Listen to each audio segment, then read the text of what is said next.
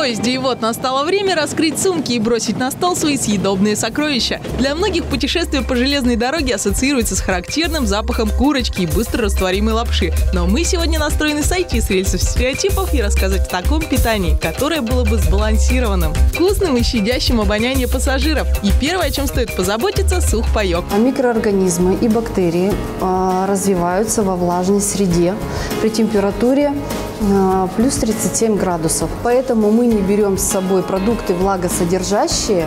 Э, допустим, если, к примеру, э, колбаса вареная, чем она опасна? Тем, что в ней очень много влаги. Соответственно, там у нас э, могут развиться патогенные микроорганизмы, которые очень опасны. Подойдут консервы и паштеты. Баночку желательно опустошить за раз. Легендарную курицу в поезд лучше брать не вареной, а запеченной в горчице или перце, натуральных консервантах. Завернуть в фольгу или термопакет, который держит холод до 5 часов, а дальше сделать полноценное второе с пюрешкой из стакана или лапшой. Если не приправлять ее ядреными специями из пакетиков, чтобы после нее не хотелось пить, а кишечник не говорил чу-чу. Сухарики, которые производственные, именно соленые орехи не стоит брать и какую-то соленую рыбу. Пиццу, горячие бутерброды, ну, без заправок, конечно, майонезных.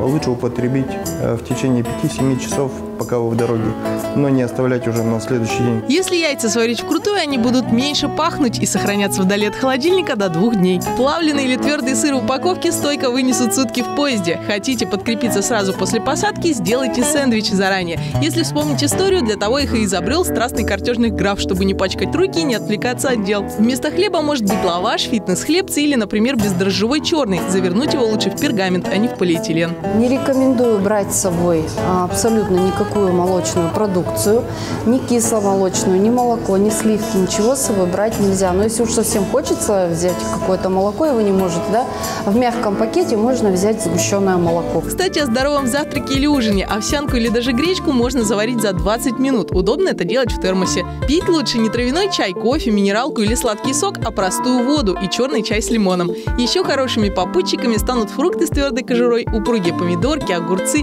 редиска и морковь, вареная кукуруза, картошка в мундире и зелень. Мы берем с собой авокадо. Сейчас оно везде доступно. Его можно провозить с собой 3-4 дня. То есть это такой долгоиграющий продукт.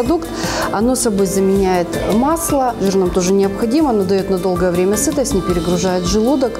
И, в общем-то, хорошо переваривается. К чаю берем не тающий шоколад и сласти со скоропортящейся начинкой, а орехи и сухофрукты, злаковые батончики, пряники, печенье, вафли и зефир. А вообще, если впереди дальняя дорога, стоит доверять еде из вагона ресторана. Во всяком случае, это куда безопаснее и приятнее, чем пирожки и прочие сомнительные угощения от бабушек на станциях следования.